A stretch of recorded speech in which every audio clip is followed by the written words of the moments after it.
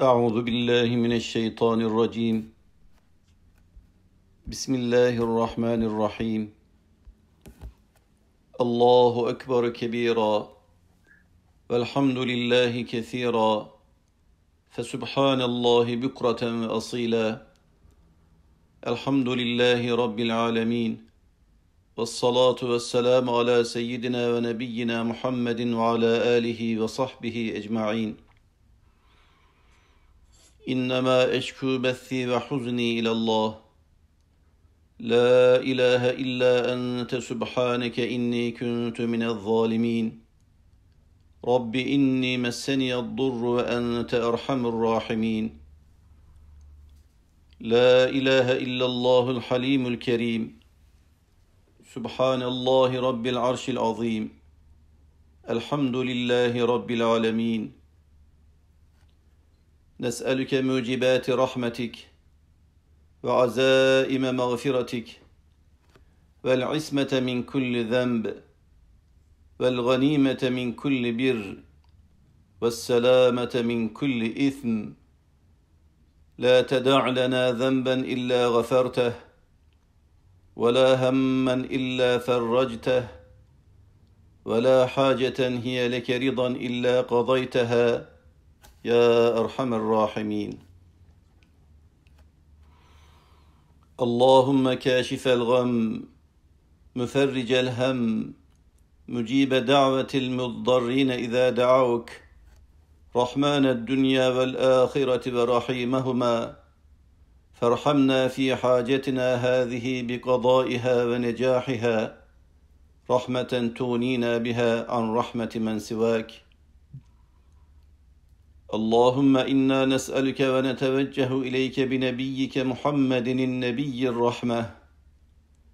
يا محمد إنا نتوجه بك إلى ربنا في حاجتنا هذه لتقضى لنا. اللهم فشفعه فينا. اللهم يا قاضي الحاجات ويا دافع البليات اقض حوائجنا كلها يا أرحم الراحمين.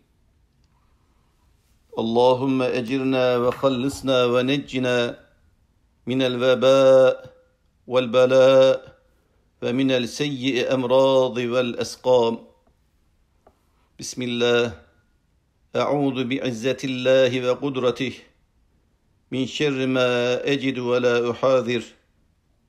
من وجع هذا اللهم رب الناس مذهب البأس. اشف أنت الشافي لا شافي إلا أنت. شفاء لا يغادر سقما. بسم الله بسم الله بسم الله. بسم الله أرقيك الله يشفيك من كل شيء يؤذيك. بسم الله أرقيك الله يشفيك. من كل داء فيك. اللهم عافنا في أبداننا. اللهم عافنا في أسماعنا. اللهم عافنا في أبصارنا. اللهم عافنا في كل أعضائنا وجوارحنا ولطائفنا وحواسنا الظاهرة والباطنة. لا إله إلا أنت. Büyük Allah'tır. Her türlü hamdü sena o yüceler yücesinin hakkıdır. Ve sabah akşam tesbih ile anılmaya layık yalnız O'dur.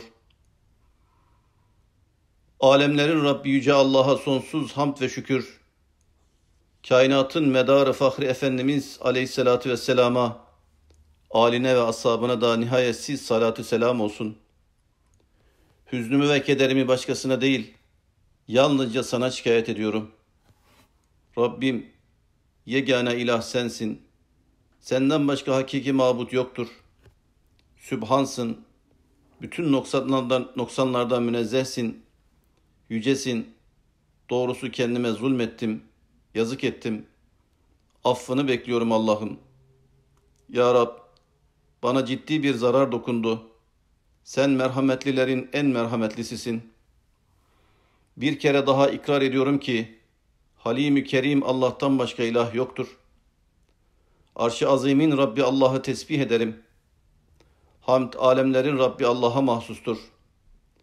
Rabbim senden rahmetinin gereklerini, merhametini celbedecek vesileleri, gerçekleşmesi muhakkak olan mağfiretini, günahtan korunmayı, her türlü iyiliği kazanmayı, her türlü günahtan da selamette olmayı istiyoruz.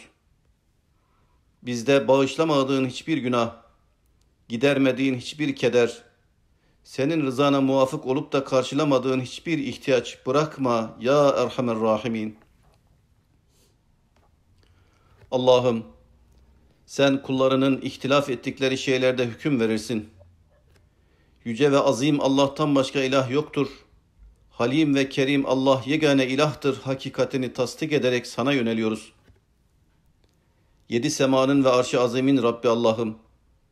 Seni tesbih ve eksik sıfatlardan tenzih ederim. Hamd alemlerin Rabbi Allah'a mahsustur imanıyla sana hamdü senada bulunuyoruz. Ey kederleri gideren, tasaları kaldıran, dua ettiklerinde çaresizlerin duasına icabet eden Allah'ım, ey dünya ve ahiretin Rahman ve Rahimi, şu ihtiyacımızın giderilmesi ve tamamlanması hususunda başkalarının merhametinden müstani kılacak bir şekilde bize merhamet et. Allah'ım senden diliyor ve dileniyoruz. Rahmet Peygamberi Hazreti Muhammed sallallahu aleyhi ve sellemi vesile edinerek sana teveccüh ediyoruz. Ya Muhammed aleyhissalatü vesselam, ey efendim, şu hacetimizin yerine getirilmesi için vesile seni vesile yaparak Rabbimize yöneliyoruz. Allah'ım Resul-i Ekrem sallallahu aleyhi ve sellem Efendimiz'i hakkımızda şefaatçi eyle. Ey kullarının bütün ihtiyaçlarını yerine getiren ve ey bütün belaları def eden Rabbimiz, bizim bütün ihtiyaçlarımızı gider ve bütün belaları bizden def üref eyle. Ey merhametliler merhametlisi. Allah'ım bizleri vebadan ve benzeri belalardan ve her türlü hastalık ve marazların kötülük ve şerrinden koru, halas eyle ve necat ver. Allah'ım bedenimde çekmekte olduğum şu hastalığın şerrinden senin izzet ve kudretine sığınıyorum. Ey Allah'ım insanların Rabbi sensin. Her zorluğu gideren sensin. Şifa ver. Şifayı ancak sen verirsin. Senden başka şifa verecek yoktur. Öyle bir şifa ver ki hasta üzerinde hastalık izi ve eseri kalmasın. Allah'ın adıyla sana eza veren bütün hastalıklara karşı, bütün kötü nefis ve hasetçi gözlere karşı sana okuyorum. Allah sana şifa versin. Ben Allah'ın adıyla sana dua ediyorum. Allah'ım bedenlerimize afiyet ver. Allah'ım kulaklarımıza afiyet ver. Allah'ım gözlerimize afiyet ver. Allah'ım bütün azalarımıza ve cevarihimize ve bütün latifelerimize ve zahiri ve batını bütün hissiyat ve duygularımıza ve cihazatımıza afiyet ver. Senden başka ilah yok Allah'ım.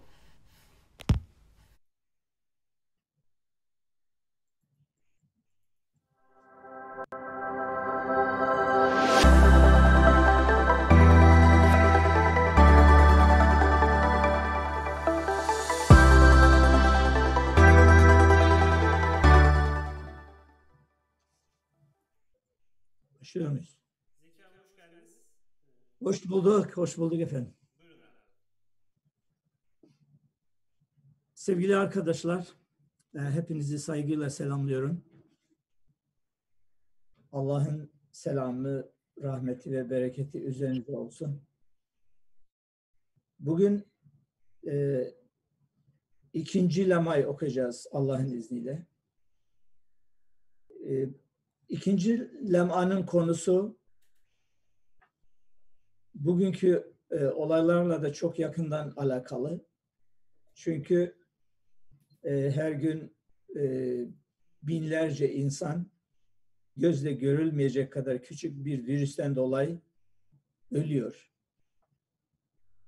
Yani dünya toplumu büyük bir sarsıntı içerisinde.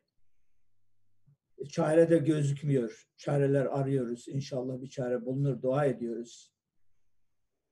Ee, Hazreti e, Eyüp Aleyhisselam'ın duası e, hayatımızın çok önemli bir e, yeri teşkil etmeli. Çok önemli bir yeri teşkil etmeli. E, o duayı inşallah beraber e, okuyacağız. Üstad Hazretleri hani sadece bir tarihi olayı anlatmakla yetinmiyor. E, Kur'an-ı Kerim'de bu dua geçiyor. E, fakat bu duanın bize anlattığı nedir acaba? Onu öğrenmemiz gerekiyor. Sadece bir tarihi olay Hazreti Eyüp Aleyhisselam Allah'ın bir peygamberi e, tarihte böyle bir sıkıntı yaşamış. E, e, zahmetler çekmiş. Sonra bu duayı bu duayı yapmış. Bu duada bulunmuş. Allah onun duasını kabul buyurmuş. E, bir ara böyle bir ehli kitaptan bir zat ile görüşüyordum. E, bir e, Yahudi bir rabay bir zat. Ya dedi ki bizim e, kitaplarda da Hazreti Eyüp Aleyhisselam geçiyor ama böyle çok bir e, bir şey yok. Yani onunla ilgili çok fazla bir şey bize bir mesaj yok. İslam'da nasıldır deyince dedim ki yani İslam'da Kur'an-ı Kerim'de e, geçiyor. Birkaç defa geçiyor. Bir de en büyük mirası bizim için bu dua. Yani Hazreti Eyüp'ün bu duası bize bir miras oldu. Allah bize Kur'an-ı Hakim ile e, haber verdi ve biz bunu e, tekrar ediyoruz. İslam ümmeti bunu tekrar ediyor deyince çok e, şaşırdı. Yani ben dedi mesela böyle bir duayı bilmiyordum dedi. Hazreti Eyüp Aleyhisselam'ın böyle bir duası olduğunu bilmiyordum.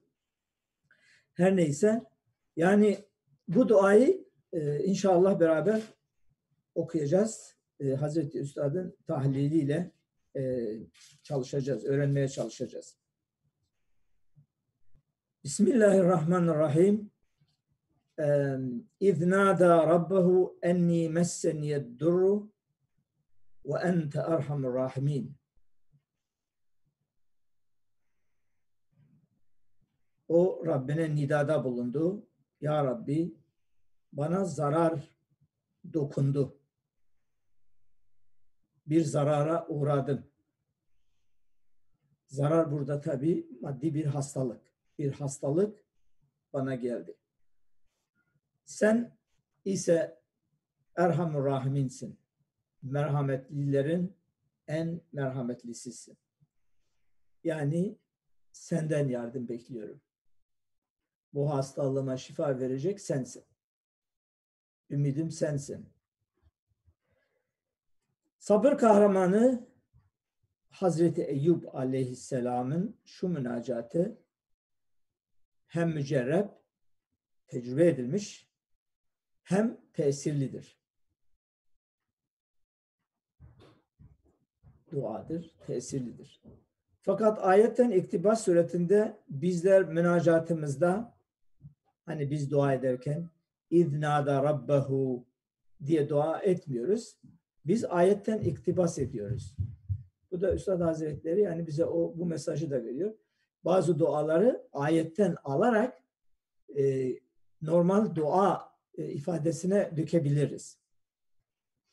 Rabbi inni messeniye durru ve ente erhamur rahimin. Ey Rabbim bana zarar dokundu. Sen erhamur rahiminsin. Demeliyiz. Biz de ona ittibaen demeliyiz.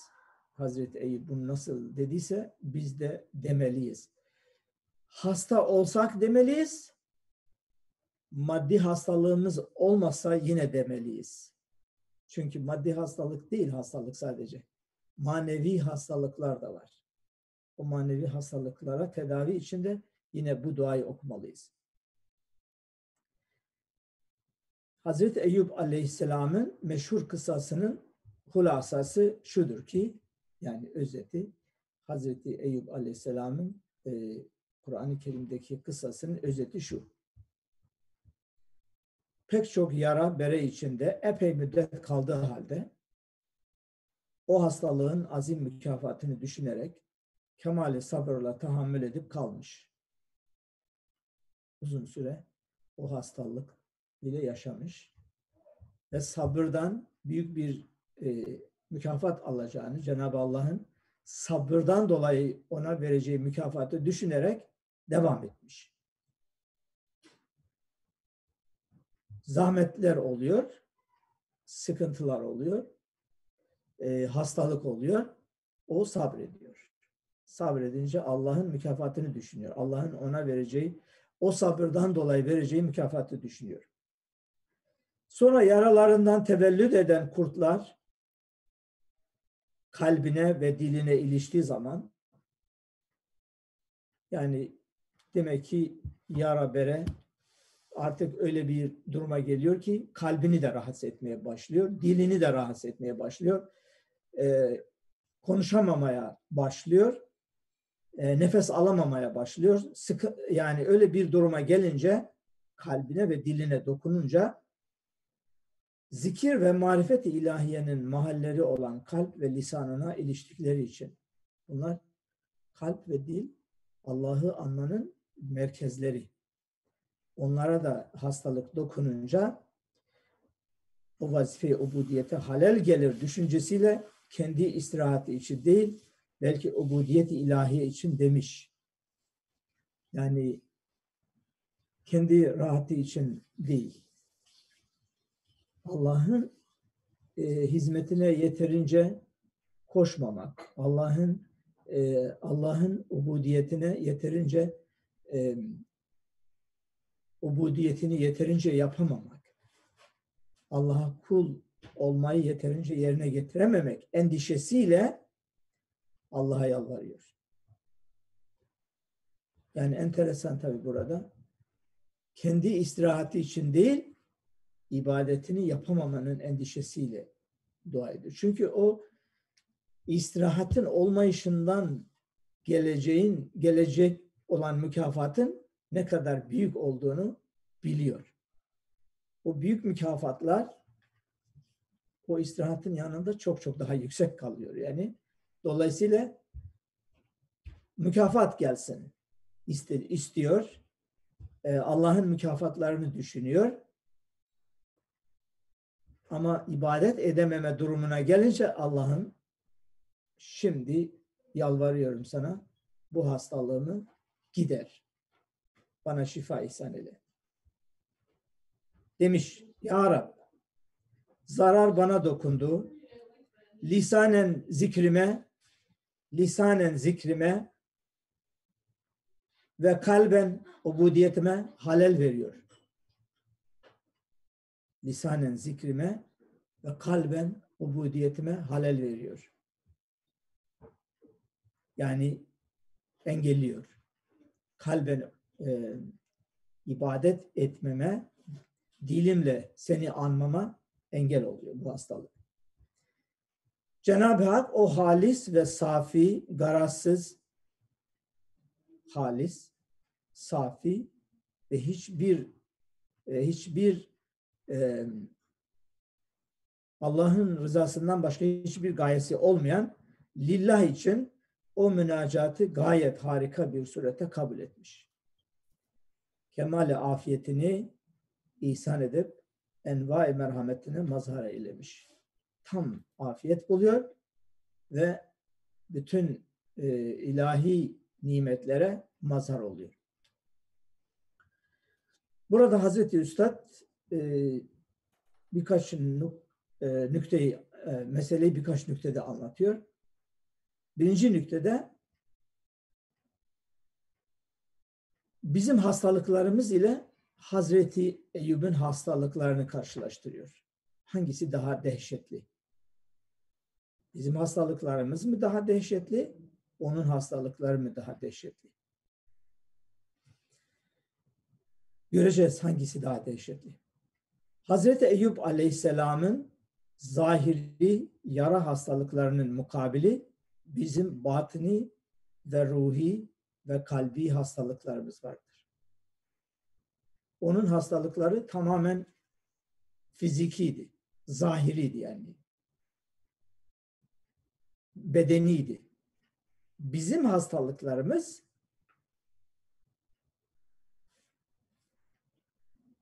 onunki gibi değil. Bizimki batını, ruhi ve kalbi. Ruhi hastalıklarımız var. Kalbi hastalıklarımız var. Ee, iç dünyamızla ilgili bilemediğimiz daha başka latifelerle ilgili hastalıklarımız var. Ve işin en kötüsü e, bedeni hastalıklar olunca insan farkına varıyor. Belli acı veriyor. E, batını ve kalbi hastalıklar bazen gizli kalıyor. Bazen farkında olmuyor insan. E, hassas olmayan insanlar o hastalıklarla devam ediyor, ediyor, ediyor. E, Allah muhafaza buyursun. E, sonunda e, imanı kaybediyor. En tehlikelisi o. İç dışa, dış içe bir çevrilsek, yani iç dünyamız dışımıza dönü, dönse ve dış dünyamız da iç tarafa dönse, yani iç dünyamız bedenimize dönüşse, bedenimiz de iç dünyamıza dönüşse, Hazreti Eyüp'ten daha ziyade yaralı ve hastalıklı görüneceğiz. Yani hani Hazreti Eyüp çok hastaları, çok hastalıkları olmuş, e, hani inanılmaz derecede hastalanmış. Aslında bizler eğer iç dünyamızı dışarıya çıkarabilirsek, dışa döndürebilirsek göreceğiz ki biz ondan çok çok daha hastalıklıyız. Bizimki onunkinden çok daha fazla. Neden? Çünkü işlediğimiz her bir günah işlediğimiz her bir günah kafamıza giren her bir şüphe kalp ve ruhumuzda yaralar açar. Her bir günah bir yara oluyor. Farkına varmıyoruz. Ee, maalesef insan farkına varmayınca daha da e, birikiyor. Çünkü farkına varırsa insan o yaranın tedavisi istiğfardır. İstiğfar eder. İstiğfar yani Allah'a tövbe eder. Estağfirullahel azimel kerimellezî la ilahe illa huvel hayyul kayyum. Bunu tekrar tekrar eder. Ee, o Allah'ın inayetiyle o yara şifa bulur. Fakat insan unutkan olduğu için e, bunu yapmayınca o yara kalır. Bir yara daha üzerine gelir, bir yara daha üzerine gelir ve o insan tamamen yara bere içerisinde kalır. Onun gibi kafamıza giren her bir şüphe, yani meleklerle ilgili, vahiy ile ilgili, Kur'an-ı Hakim'le ilgili, Allah'ın sıfatlarıyla ilgili, bazı filozofların bir şey bir bir mesajını okuyorsunuz. Ee, hele bu hele bu zamanda o kadar böyle e, çok bilgi e, akışı var ki e, farkına varmadan bir e, sosyal, e, sosyal medya yoluyla bir şey alıyorsunuz, sizin zihninizde müthiş bir şüphe meydana getiriyor. O şüphe kalbinizi yaralıyor. O şüphenin cevabını bulamazsanız o yara sizinle beraber gidiyor. Yani kalıyor öyle. Onun için hakiki manada e, biz Hazreti Eyüp Aleyhisselam'dan daha yaralıyız diyor Hazreti Bediüzzaman. Dolayısıyla yani biz bu duayı çok okumalıyız. Hazreti Eyüp Aleyhisselam'ın ha, yani bir diğer tarafı da şiddet yönüyle, dehşet yönüyle. Tamam biz ondan daha yaralıyız ama bir, bir önemli nokta daha var. Onun yaraları kalp ve lisanına ilişmişler. Hazreti Eyüp'ün Hazreti e, Eyüp'ün yaralarından neşet eden kurtlar kalp ve lisanına ilişmişler. Öyle de bizleri günahlardan gelen yaralar ve yaralardan hasıl olan vesveseler, şüpheler neuzu billah mahalli iman olan batını kalbe ilişip imanı zedeler. İmanı zedeler ve imanın tercümanı olan lisanın zevki ruhanisine ilişip zikirden nefret karını uzaklaştırarak susturuyorlar. Yani insan e, artık böyle e, Allah korusun zikirden nefret eder. Kur'an okumaktan nefret eder. Zor gelir, çok zor gelir. Yani e, dayanılmaz bir şekil alır belki de Allah korusun. Yapamaz. Neden? Çünkü kalpte yara açılmış. Yani dil de kalbin tercümanı olduğu için o yara dile de sirayet ediyor ve dolayısıyla dil artık Allah'ı anmaktan e, imtina ediyor. Okuyamıyor. Zevk alamıyor. Yani tadma duygusu kaybolmuş bir insan gibi. Yemek yiyor, zevk alamıyorsa değil mi? O, o yemeği zor yer yani. Onun gibi. Temsilde hata olmasın. Yani imanın merkezi olan kalbe e, yaralar, kalpte yaralar açılırsa e, o insanı e, çok e, tehlikeli bir noktaya getirir. Evet, günah e, kalbe işleyip siyahlandıra siyahlandıra ta nur imanı çıkarıncaya kadar katılaştırıyor. İman nurunu çıkarıncaya kadar günahlar e, insanın kalbini katılaştırıyor. Katı kalpli diyoruz ya insan bazı insanlar için katı kalpli bir insan. Neden katı kalpli oluyor? Günah o kalbi yaralamış. Yaralamış ve yaralamış. Kalp katılaşmış. Her bir günah içinde yani her bir günah işleyen kafir oluyor manasında değil. Ama her bir günah içinde küfre gidecek bir yol var. Aslında her bir günah e, insanı küfre götürecek potansiyel taşıyor. O potansiyel var her bir günahda. Nasıl yani? Mesela mesela bir insan e, utandıracak bir günahı gizli işleyen bir insan başkasının onu görmesinden, ittilaından çok hicap ettiği zaman mesela keşke başkası bunu görmese. Ama melekler onu görüyor. O zaman ne oluyor? Melaike ve ruhaniyatın vücudu ona çok ağır geliyor. Melekler, ruhani varlıklar o günahı işlediğini görüyor.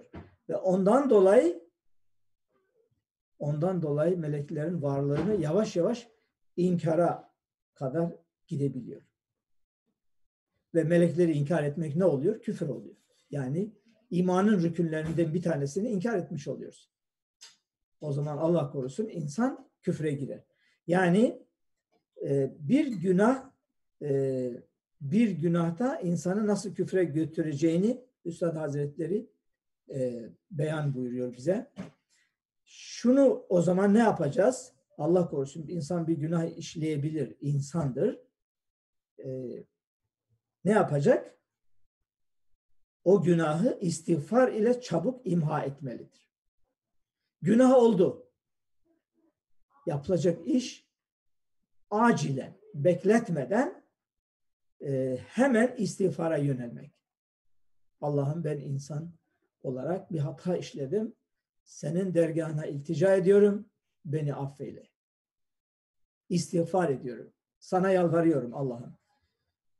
Yani affeder affetmez o onun e, iradesi ama istiğfar etmemizi istiyor. O affeder inşallah. Ümit varız. Onun için arkadaşlar en çok yapılması gereken işlerden bir tanesi istiğfardır. Efendimiz e, bir hadis-i şerifte günde yüz defa istiğfar ediyorum buyuruyor. Ümmetine örnek oluyor. Ümmetine örnek oluyor. Yani bizim için yani bizim de e, çok istiğfar etmemiz gerekiyor. Seyyidül istiğfar diye bir dua var. İstiğfarların en e, en üstünü o da bir hadis-i şeriften geliyor. E, dua mecmuasında var. E, Allahümme ente Rabbi la ilahe illa ente halakteni ve ene abduk ve ene ala ahdike ve vaadike mestata Auzu bike min şerri ma sana ve ebu leke bi ni'metike aleyye ve ebu leke bi zenbi fağfirli fe innehu la yağfiru zunube illa ent. Mesela bu duayı tekrar etmek gerekiyor. Ezbere bilmeyen arkadaşlar e, alın dua mecmuasını okuyun. Her sabah, her akşam okumak gerekiyor. Birkaç defa okumak gerekiyor. Üç defa, dört defa. İstiğfar olursa inşallah o günah silinir. İnşallah. Ümidimiz var. Ama istiğfar olmazsa üstadın ifadesiyle artık o günah bir kurt değil belki manevi bir yılan olarak kalbi ısırıyor. Yılan. içinizde bir yılan olduğunu düşünün yani. Nasıl nasıl yaparız? Yılan bir yılan insanın bedenine girse. Evet arkadaşlar bunu aynen üstad böyle ifade ediyor. Yılan ruhun bede ruhun varlığına girmiş. Kalbin içine girmiş oluyor. Ve o sürekli ısırdığı için sizi de hakikatlardan e, Kur'an'dan uzaklaştıracak. Ve sonunda Allah korusun imanın imanı yok edecek. Evet. Veyahut da mesela cehennem azabını intihac eden büyük bir günahı işleyen bir adam hani hadis şeriflerde, ayet kelimelerde e, bazı günahlara çok tehditler var. Cehennem azabı tehdidi var. Cenab-ı Allah buyuruyor. Onları cehennemde yakar buyuruyor. Mesela böyle bir günahı işleyen bir insan cehennem azabını gerektiren bir günah cehennemin tehdidatını duydukça istiğfar ile ona karşı siper almazsa cehennemin tehdidatını işittikçe istiğfar ile ona karşı siper almazsa bütün ruhuyla cehennemin ademini, cehennemin yokluğunu arzu ettiğinden küçük bir emare ve bir şüphe cehennemin inkarına cesaret veriyor. Yani e, çünkü o cehennem onun o günahının sonucu olacak. O zaman keşke bu cehennem olmasa der. İçinden bir duyguyla keşke bu cehennem olmasa. Bu cehennem olmadığını söyleyen bir diyelim e, filozof e, herhangi bir görüş onun için çok cazibeli olur. Ve hemen o görüşe e, sarılır. E, cehennem yoktur der haşa. Cehennemi inkar eder. Cehennemi inkar etmek de yine üstadın ifadesiyle küfre götürüyor. Küfre gidecek bir yol oluyor işte. O günah küfre gidecek bir yol oluyor. Çünkü cehennem e, bütün e, Kur'an-ı Kerim'in ayetlerinde e, ispatlanıyor. Yani yüzlerce belki binlerce ayette geçiyor. Onun için cehennemi inkar etmek de insanı küfre götürür. Mesela yine farz namazını kılmayan ve vazife ubudiyeti yerine getirmeyen bir adamın küçük bir amirinden küçük bir vazifesizlik yüzünden aldığı tekdirden müteessir olan o adam yani bir iş yerinde bir amiri küçük bir e, hatadan dolayı ona bir tekdirde bulunuyor. Yani bir e, onu bir e, adeta azarlıyor. Bir hatasından dolayı. Nasıl insan üzülür yani. Bir iş yerinde sizin e, amiriniz sizin e, diyelim e, o işin başkanı, o o bölümün başkanı olan kişi sizi azarlıyor. Nasıl insan rahatsız oluyorsa Sultan-ı Ezel ve Ebed'in mükerrer emirlerine karşı Allah'ın o kadar emirleri var Kur'an-ı Kerim'de. Kılınız. Ve o sıkıntıdan arzu ediyor ve manen diyor ki bu defa ne diyor? Keşke o vazife ubudiyeti bulunmasaydı. Allah korusun. Yani keşke namaz olmasaydı. Ne kadar rahat olurdu. Gibi bir duyguya kapılır. Ve bu arzudan bir manevi adaveti ilahiyeyi işmam eden bir inkar arzusu uyanır. Allah korusun. Yani keşke namaz olmasaydı derken yavaş yavaş Allah'a karşı bir düşmanlık duygusu gelişiyor. Ve o Allah'ı inkar etmeye kadar götürebilir. Yani görüyoruz arkadaşlar ne kadar dehşetli bir durum. Dehşetli bir durum. Çünkü bunlar ebedi hayatı yok ediyor. Ebedi hayatı yok ediyor yani. Forever diyoruz ya İngilizce'de forever. Artık sonsuza kadar insan kaybediyor. Bir daha dönüşü yok. Bir daha o kaybının o kaybın telafisi yok. Mümkün değil. Her şey bitmiş oluyor.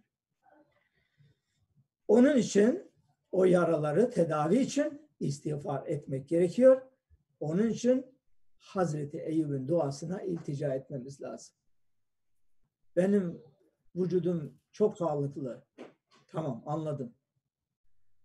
Bedenen sağlıklıyız. Elhamdülillah. Ona da şükretmemiz lazım. Çünkü bedenen sağlıklı olmak da çok mühim. Çok mühim. Ama kalben sağlıklı olmak ondan çok çok daha ileri. Yani bedenen sağlıklı isek dahi yine bu duayı okumalıyız. Rabbi inni messeni durru ve ente arhamur rahimin. Allah'ım iç dünyamda hastalıklar var. Farkına vardıklarım var, farkına varmadıklarım var. Sen onları tedavi eyle. Sen onları sen onlara şifa ver. Onları iyileştir ya Rabbi diye Hazreti e, Eyüp Aleyhisselam'ın bu duasını tekrar etmeliyiz. Dolayısıyla öyle bir şüphe, Allah korusun Allah hakkındaki bir adalet duygusu Allah'ı inkara kadar götürebilir. Bir şüphe vücudu ilahiye dair kalbe gelse bir şüphe arkadaşlar, bir şüphe Allah'ın varlığına dair kalbe gelse kat'i bir delil gibi ona yap, ya, e, yapışmaya meyleder büyük bir helaket kapısını ona açar.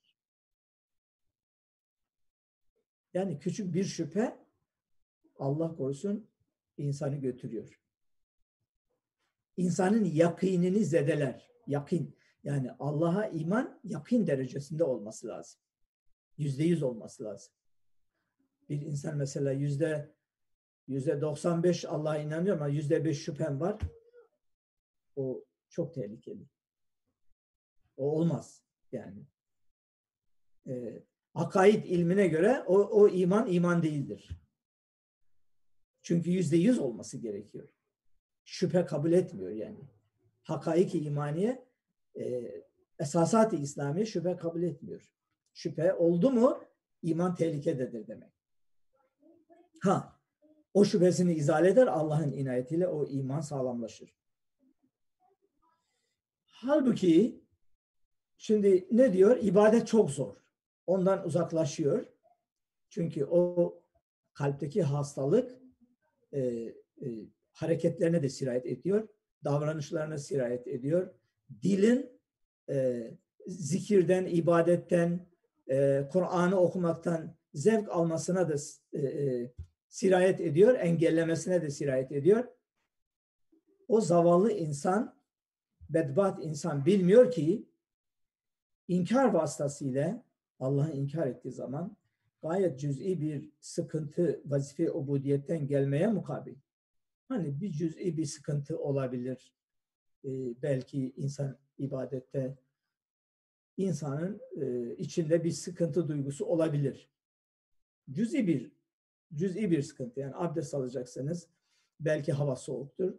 Ne bileyim ona benzer bir sıkıntı olabilir. Ona karşı bu insan o sıkıntıdan kaçıyorken inkarda, Allah'ı inkar etmede milyonlar ile sıkıntıdan daha müthiş manevi sıkıntılara kendini hedef eder. Yani bir sıkıntıdan kaçıyor, milyonlarca sıkıntıya kendini hedef ediyor. Ve ebedi hayatını yok ediyor. Allah korusun ebedi hayatı gidiyor.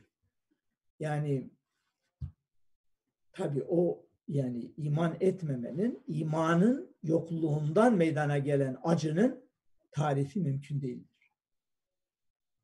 Tarifi mümkün değil. Nasıl bir şeyse o, nasıl bir acıysa e, yani düşünün ki bir insan ebedi hayata inanmıyor yani. Ölümü yokluk kabul ediyor. Çünkü sonuç öyle olacak yani. Sonuç öyle oluyor. Allah'ı inkar edince ölümün ahireti de inkar etmiş oluyor. E, cennet, cennet, cehennemi de inkar etmiş oluyor. Öbür dünya diye bir dünyanın olmadığını da e, e, iddia ediyor. Bu defa ne oluyor? Müthiş bir azaba kendini e, adeta mecbur ediyor. Müthiş bir azaba sokuyor. Müthiş bir manevi işkenceye sokuyor. Ve onun tel, onun tarifi mümkün değildir. Yok olmadan gelen, yok olma düşüncesinden gelen azabın, gelen e, manevi işkencenin tarifi yok. Ancak onu yaşayanlar anlatabilirler. O da farkında olurlarsa çünkü bazen de e, insan kendini sarhoş ediyor, onları düşünmemeye e, gayret gösteriyor. Ama belli bir süre içindir o da. Şimdi bizim anlaşmamız şöyledi arkadaşlar. 40 dakika e, inşallah sohbet yapalım dedik. Beraber okuyoruz, öğreniyoruz. Ben de öğreniyorum sizin gibi. Hepimiz öğreniyoruz. Hepimiz Allah bizi, ben öyle dua ediyorum. Allah'ın bizi talebi ulum eyle yani. Hakikat ilmini öğrenen talebelerden eyle. Ne kadar güzel bir şey olur talebi ulum olmak yani. Ve e, Efendimizin bir hadis-i şerifinde ilim beşikten mezara kadardır. Yani öğreniyoruz. Sürekli öğreneceğiz inşallah. Hep beraber öğreneceğiz. Dolayısıyla şimdi şu paragrafı bitirip ondan sonra sorular, sorularınıza e, e geçeceğim. Ee, sorular varsa sorulara inşallah cevap vereceğiz. Ee, yani e, sorular iyi olur. Çünkü aklımıza şüpheler e, kalmasın. E, bilmediğimiz şeyler olursa inşallah beraber çözeriz Allah'ın izniyle. Yani Üstad Hazretleri burada bu paragrafta nasıl o insan bir bir küçük tehlikeden kendini uzaklaşıyor hissediyorsa aynı şekilde milyonlarca tehlikelere kendini maruz bırakıyor hedef bırakıyor. Adeta sineğin ısırmasından kaçıyor o insan. Sineğin ısırmasından kaçıp yılanın ısırmasını kabul eder. Sinek ısırsa ne olacak yani? Sinek. Ama yılan ısırsa sizi öldürür. O insan Allah korusun sineğin ısırmasından kaçıyor, yılanın ağzına düşüyor. Ve yılanın ısırmasını artık tahmin edebilirsiniz yani e, nasıl bir zehirle onu öldürecek. Ve hakeza bu üç misale kıyas edilsin ki belrane ala kulubihim sırrı anlaşılsın. Bu da e, Mutaffifin suresindeki bir ayet-i kerime. Yani o insanlar ahireti inkar ediyorlar. Yükeddibune biyevmiddin. Din gününü, ahiret gününü inkar ediyorlar. Belrane ala kulubihim e, onların yaptığı işler kalplerini mühürlemiştir. Yani o kötülükle kötülük yapa yapa yapa yapa o kalp mühürleniyor arkadaşlar.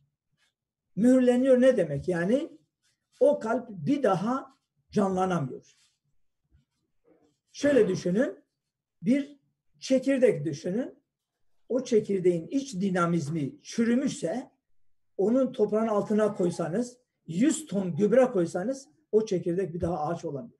Çünkü iç dinamizm bozulmuş. Yani çürümüş. İşte kalbin mühürlenmesi arkadaşlar böyledir. Çürümüş oluyor yani. Çürümüş oluyor. Allah muhafaza etsin. Allah kalbimizi çürümekten muhafaza buyursun. Kalbimizin mühürlenmesinden Allah'a sığınıyoruz. Onun için bu Hazreti e, Eyüp duası, e, Eyüp Aleyhisselam'ın duasını sık sık okuyacağız. İnşallah Allah kalbimizi muhafaza edecek. Bizleri o manevi ve maddi hastalıklardan muhafaza buyuracak. Şimdi e, bu moderatör kardeşimiz bana soruları gönderecekti. Bakayım nasıl gönderiyor.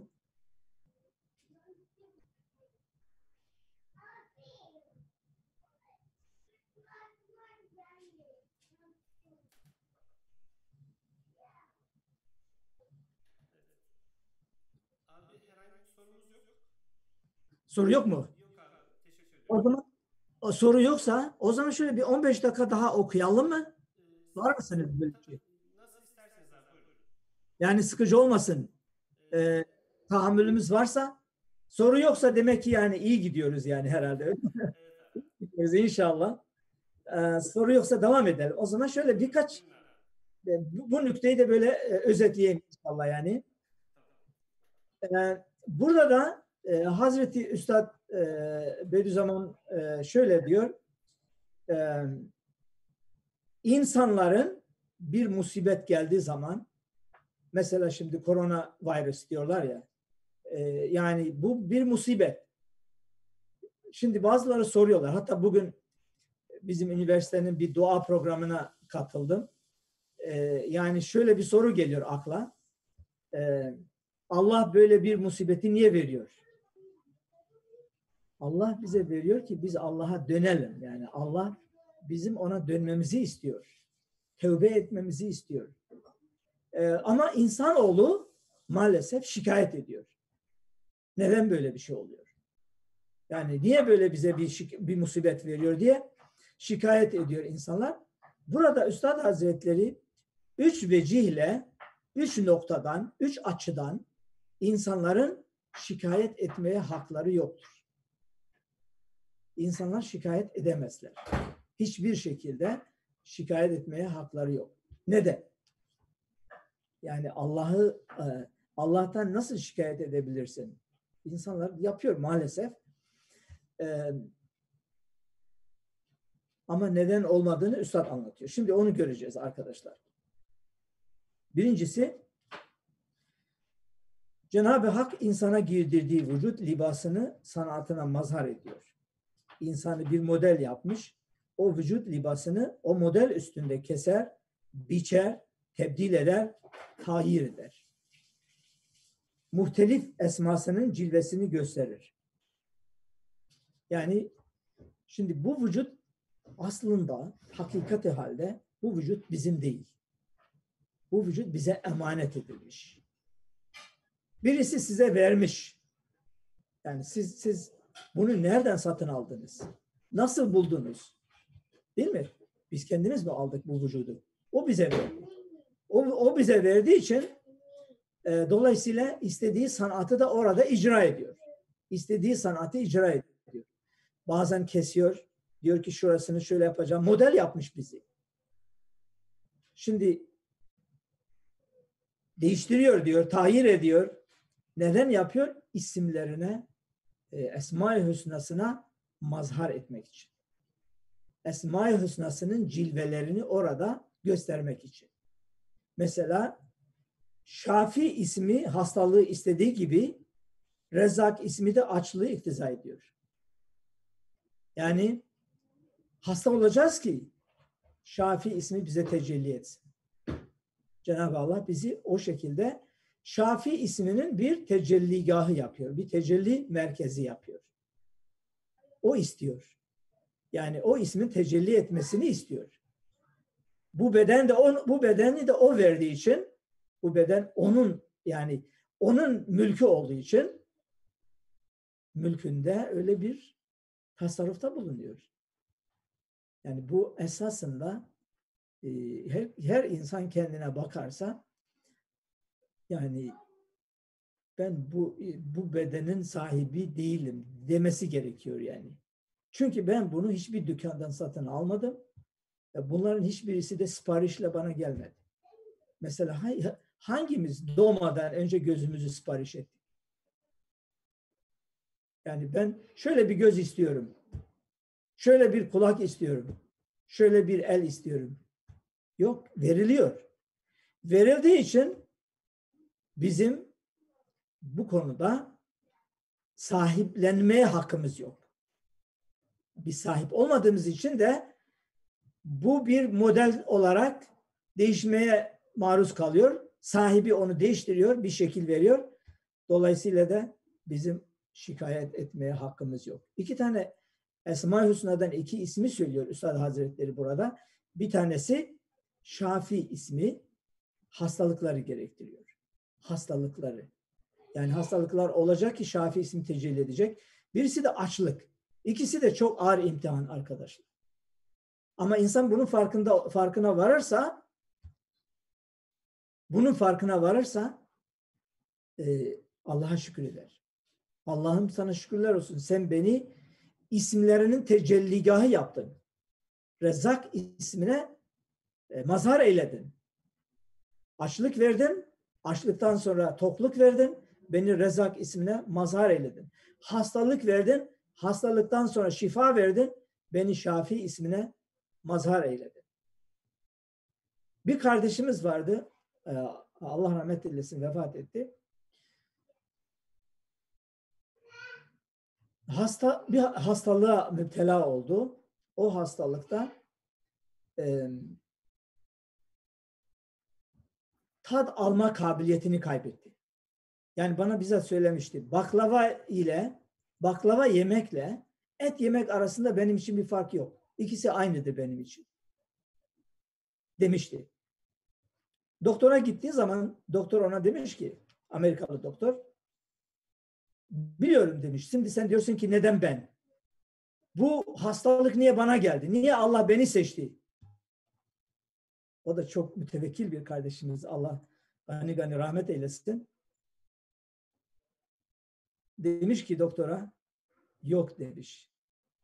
Why not me? Neden ben değil? Çünkü 50 senedir Allah bunu bana verdi. 51. senede almışsa çok mudur? 50 senedir ben bunları kullanıyorum.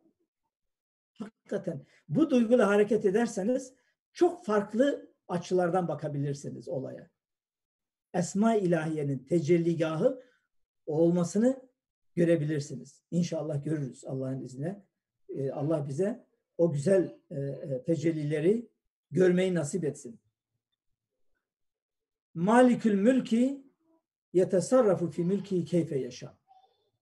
Allah malikül mülktür. Mülkün sahibi odur. Mülkünde istediği gibi tasarruf eder. istediği gibi hareket eder. Kimse onu sınırlayamaz. Kimse demez niye bunu böyle yapıyorsun? Kimsenin hakkı yok. İnsanların şikayet etmeye hakkı yok. Hastalık istenmez, e, istenmez. Çünkü e, hadis, e, Kur'an-ı Kerim'de, ayet-i kerimede Rabbena atina fid dünya haseneten ve fil ahireti haseneten ve qina azabennar. Allah'ım bu dünyada da bize iyilik ihsan ile, ahirette de bize iyilik ihsan ile ve bizi cehennem azabından koru. Bu, bunu öyle dua etmek gerekiyor.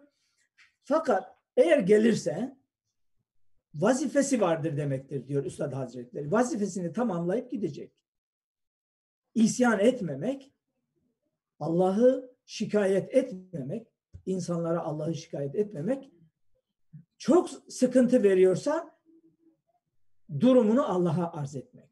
Durumunu Allah'a şikayet etmek Hazreti e Hazreti Eyüp Aleyhisselam'ın yaptığını yapmak. Onun duasını tekrarlamak.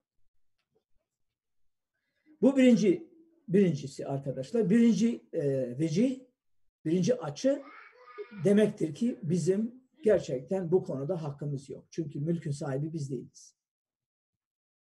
Biz bize emanet verilmiş. Esas mülk sahibi Allah'tır.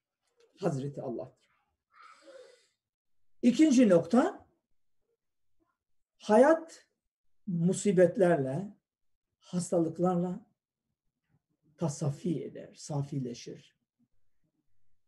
Yani bir musibet gelirse hayatı safileştiriyor. Hayatı canlandırıyor.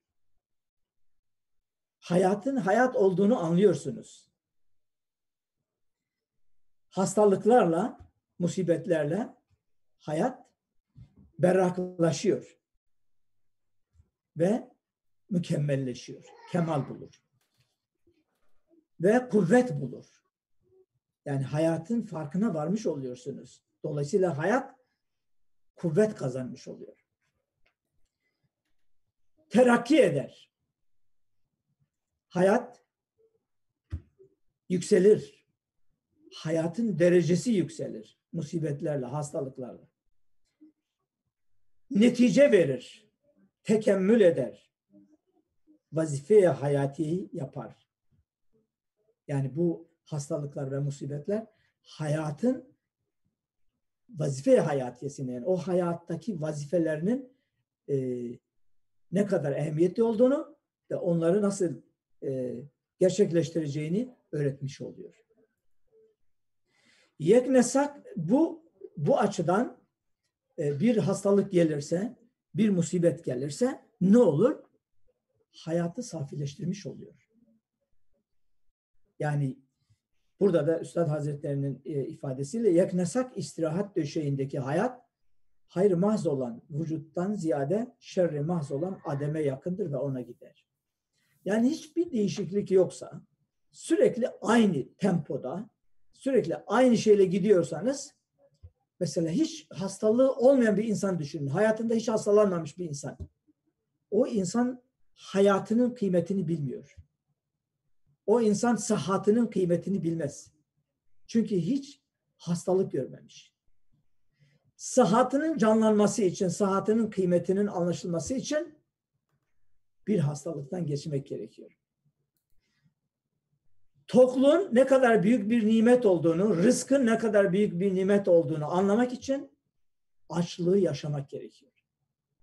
Onun için orucun hikmetlerinden bir tanesi de aç kalmanın elhamdülillah yakında geliyor.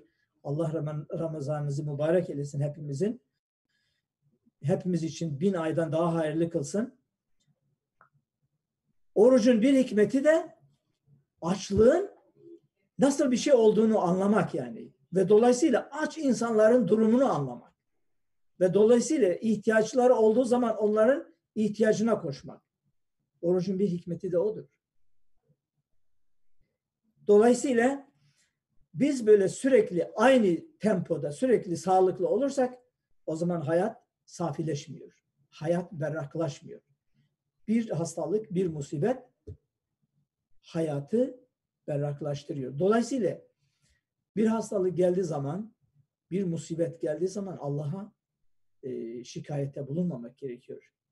Yani Allah'ı insanlara şikayet etmemek gerekiyor. Şikayetçi olmamak lazım, sabretmek lazım. Onun için Hazreti Eyüp Aleyhisselam'ın ünvanı sabır kahramanı. Sabır kahramanı. Sabır kahramanı olmak. Allah Allah musibetlerden e, bizi uzak tutsun.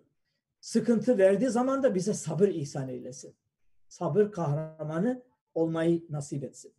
Dolayısıyla bu ikinci açıda yani biz e, müminler olarak Allah'a e, teşekkür etmemiz lazım. Bir hastalık geldiği zaman Allah'a şükretmemiz lazım. Allah'ı şikayet etmemiz, etmememiz lazım. Üçüncüsü ve inşallah bununla bitiriyoruz. Şu dar dünya meydan imtihandır. Biz dünyaya imtihan için geldik. Yani ayet-i kerimede liyebluvekum eyyukum ahsenu amela. Hanginiz daha iyi iş yapacak? Onu imtihan etmek için sizi gönderdik. Allah böyle buyuruyor. Yani e, e, Mülk suresinin başında Tebarekellezi biyedihil mülk buraya da tam isabet ediyor. Çünkü malikül mülk odur. Mülk sahibi odur. Mülk onun elindedir. Tebarekellezi biyedihil mülk ve hu ala kulli şeyin kadir. Her şeye kudreti kafidir. Her şeye kudreti yeter. Halakal mevte vel hayat. Hayatı ve ölümü yaratmış. Liyebluvekum eyyukum ahsenu amele. Hanginiz daha iyi iş yapacak diye. Hayatın gayesi bu, ölümün gayesi bu. İmtihan. İmtihan olacağız. Bu dünya bir imtihan yeridir. Dari hizmet dari hizmettir. Hizmet yeridir. Lezzet ve ücret ve mükafat yeri değildir. Çok mükafat alırsak öbür tarafta azalma olabilir. Lezzet ücret ve mükafat yeri değildir. Hizmet yeridir, imtihan yeridir. Madem dari hizmettir ve mahalle ubudiyettir, zahmetli de olsa ubudiyet yapacaksın, sıkıntılar da olsa yapacaksın, kar yağıyorsa yapacaksın, yağmur yağıyorsa yapacağız, dolu yap yağıyorsa yapacağız. Bunun bunun yani öbür dünyayla olan kıyasladı kıyaslamasını yaptığın zaman bu sıkıntılar sıkıntı bile sayılmıyor. Yani o üstadın ifadesiyle e, sineğin ısırmasından kaçıp yılanın ağzına girmek gibi olacak eğer bundan kaçarsak. Dolayısıyla dari hizmettir, mahalle ubudiyet, mahalle ubudiyettir, mükafat yeri değildir burası. Hastalıklar ve musibetler dini olmamak şartıyla, dini olmamak ve sabretmek şartıyla. Çünkü Allah korusun bir e, mesela bir hadis-i şerifte kadel fakru en yekune küfren. Yani fakirlik mesela diyelim ki e, aç kalmak. Fakirlik bir bakma aç kalmak oluyor yani. Hadis-i şerif diyor ki neredeyse küfürdür diyor. İnsanı küfre götürebilir. Çünkü sabretmezse insan bir hastalık gelir Allah'a şikayete bulunursa insanı küfre götürür. Adım adım küfre götürür. Onun için dini olmamak şartıyla yani musibet dini olmamak mesela Allah korusun bir ibadetini terk eden bir insan bir musibete duçar olmuş. Bir musibet var orada yani. Korkunç bir musibet var. Ve o musibet tehlikeli bir şey.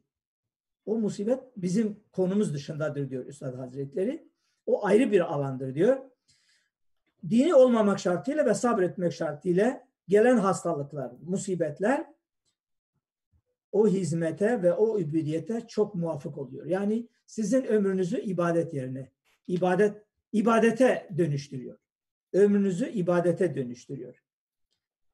Muvafık oluyor, o ibadetinize kuvvet veriyor. Yani o zaman günde namazlarınızı mükemmel kılıyorsunuz. Bu da o mükemmel, o mükemmel kıldığınız namazlara ilave yapıyor. Yani daha da çok sevap kazandırıyor. Ve her bir saati o musibetlerin, o zahmetlerin her bir saati bir gün ibadet hükmüne getirdiğinden mesela bazı hastalıklar var. İnsan sabrederse her bir saati bir gün ibadet oluyor. Allah o hastalığı insana mükafat için ihsan ediyor. İbadet e, hükmüne getirdiğinden insanın şekva değil, insana düşen şekva değil, şükretmek gerekiyor. Şükretmek gerekiyor. Evet arkadaşlar. E, yani inşallah bu açıdan da eğer Allah korusun insan bir musibete maruz kalırsa şimdi bu zamanda diyelim ki işte bu virüsler yani buna benzer hastalıklar oluyor. Başka hastalıklar oluyor. Bilemediğimiz hastalıklar olabiliyor. Onlara maruz kalırsa veya sosyal bir bir hadisede sıkıntıya düşerse o sıkıntılara karşı sabır ile tahammül etmek lazım. Sabır ile tahammül ederse inşallah Cenab-ı Allah o sabır mükafatını öbür dünyada mükemmel bir surette ihsan edecek. Allah razı olsun sevgili arkadaşlar. Hepinizi saygıyla selamlıyorum. Cenab-ı Allah sizleri e, bu e, hastalıklardan, bu şu anda bela, veba gibi gözüken, veba olduğu söylenen bu koronavirüs hastalığından ve bütün hastalıklardan, maddi ve manevi bütün hastalıklardan sizleri ve bizleri Rabbim korusun inşallah. Ee, ve Hazreti Eyüp Aleyhisselam'ın duasıyla Rabbi inni mesene duru ve ente arhamur rahimin diyoruz ve bitiriyoruz burada arkadaşlar. İnşallah tekrar görüşmek üzere. Allah'a emanet olunuz.